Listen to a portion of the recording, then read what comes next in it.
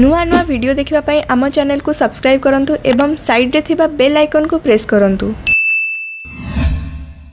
ପର୍ଯ୍ୟଟକଙ୍କ ପାଇଁ ଆଜିଠାରୁ ଖୋଲିଲା ଶିମିଳିପାଳ ଅଭୟାରଣ୍ୟ।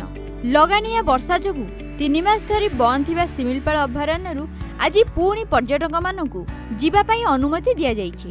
ବାରିପଦା ପିଠାବଟ ଅଥବା ଲୁଲଙ୍ଗ ପଟ ଦେଇ ଆଜି ପ୍ରଥମ ଦିନରେ ପନ୍ଦରଟି ଗାଡ଼ିକୁ ଅନୁମତି ଦିଆଯାଇଥିବା ବେଳେ ମୋଟ ଶହେ ଏକ ଜଣ ପର୍ଯ୍ୟଟକ ଶିମିଳିପାଳ ଯାଇଛନ୍ତି। ସେମାନଙ୍କ ମଧ୍ୟରୁ ଗୋଟିଏ ଗାଡ଼ିରେ ତିନି ଜଣ କାଶ୍ମୀର ପର୍ଯ୍ୟଟକ ରହିଛନ୍ତି। ସେହିପରି ଯଶୀପୁର ପଟ କାଳିଆଣୀ ଗେଟ୍ ଦେଇ ମଧ୍ୟ ପର୍ଯ୍ୟଟକଙ୍କୁ ଅନୁମତି ଦିଆଯାଇଛି।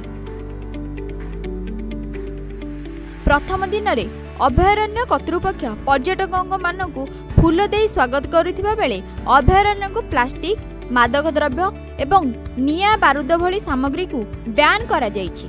ପର୍ଯ୍ୟଟକମାନେ ସକାଳ ଆଠଟା ସୁଦ୍ଧା ଗେଟ୍ରେ ଅନୁମତି ପତ୍ର ପାଇବେ। ବସ୍ରେ ଜଣେ ଲେଖାଏଁ ଗାଇଡ୍ ଦେବାକୁ ମଧ୍ୟ ନିୟମ କରାଯାଇଛି। ବାରିପଦା ଦେଇ ଯାଇଥିବା ପର୍ଯ୍ୟଟକ ଯଶୀପୁର ବାଟ ଦେଇ ଫେରିବେ ଏବଂ ଯଶୀପୁର ବାଟ ଦେଇ ଯାଇଥିବା ପର୍ଯ୍ୟଟକ ବାରିପଦା ବାଟ ଦେଇ ଫେରିବେ। ରାତ୍ର ଯାପନ ପାଇଁ ଅନଲାଇନ୍ ବୁକିଂ କରାଯିବାର ବ୍ୟବସ୍ଥା ମଧ୍ୟ ରହିଛି।